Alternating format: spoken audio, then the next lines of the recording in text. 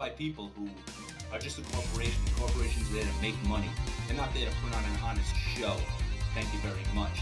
Honesty and a show don't go hand in hand. Sorry, it's a false front, but you don't want to believe in the false front. Yet you know about the Illuminati. You see where the stupid fuckery begins? Back to writing Shadow Law. Everybody's tactic. Castlevania Requiem.